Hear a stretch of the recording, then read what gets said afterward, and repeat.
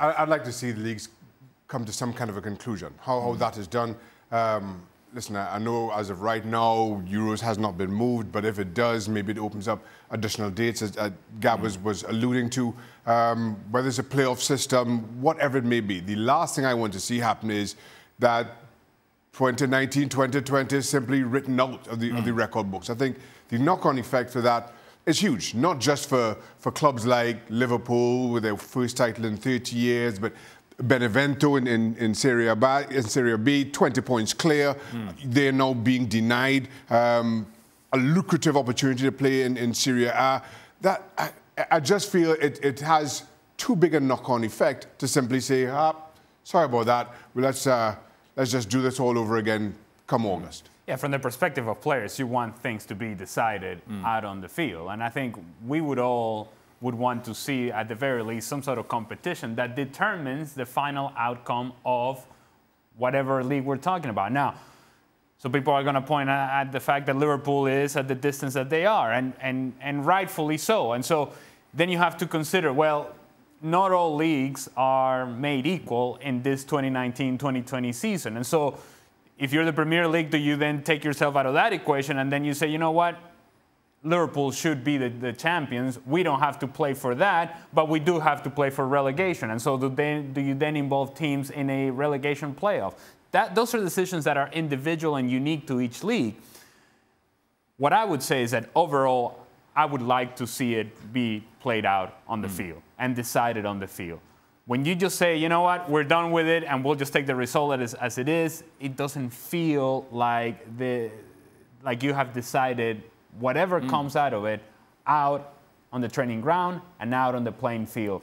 And as players, that's what you want to do. You want to compete for something. Gab, it feels like the big circuit breaker in this decision-making process on Tuesday will be the Euros, Euro 2020. If, if yeah. UEFA does decide to postpone them or move them to next year, whatever they decide, that does open up the summer. How likely is that, do you think?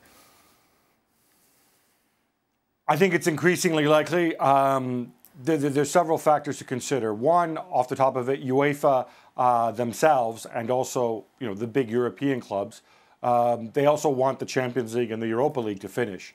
So um, we don't know when this crisis is going to be over. But if you get into a scenario where um, you know it gets to mid-May and it's looking like you know maybe in June this could be a possibility, everybody is going to want what what Moreno just said, which is let's go out there and let's settle things uh, on the field. Um, that might mean, for example, Champions League ties that, that are one legged, uh, playing in neutral venues. It could mean things like that, but they want to cram that in. Um, if they can't cram it in ahead of the Euros, then I think in the end the, there is enough impetus there to go and postpone the Euros. For I mean, first and foremost, you know, Champions League finals May 30th, Euro start June 12th. It's not that much lag time in between. Uh, if you can do one, you can do the other. If you can't, you, there's no way you're going to be able to do one and not the other, is basically what I'm driving at. If you move them, uh, everybody's talking June 2021. Uh, there are, again, a number of logistical hurdles there. You've got World Cup qualifiers scheduled for that time.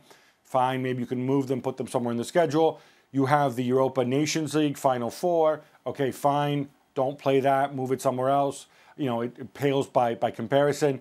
Uh, you have the Women's European Championships uh, which which kick off uh, at the beginning of July. There will be some overlap there. They they're, they're being played in England. Uh, you may have to you know rejigger uh, the end of the men's Euros. Maybe you don't play it at Wembley and whatever.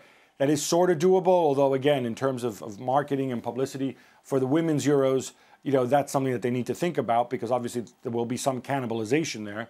Um, but the other big issue is the FIFA Club World Cup, the inaugural FIFA Club World Cup. 24 teams from around the world, eight from Europe, eight really, really big teams uh, from Europe who are going to make a lot of money off this. How will they feel if that gets, because there's a clash there, if that has to be rescheduled or, or postponed? Um, look, in the end, I think where there's a will, there's a way, but there's a lot of logistical stuff that they would need to figure out. Personally, I'm starting to think that might be the best idea. Well, thank you very much for watching ESPN on YouTube. For more sports highlights and analysis, be sure to download the ESPN app. And for live streaming, premium content, and let's not forget as well, ESPN FC seven days a week, subscribe to ESPN Plus.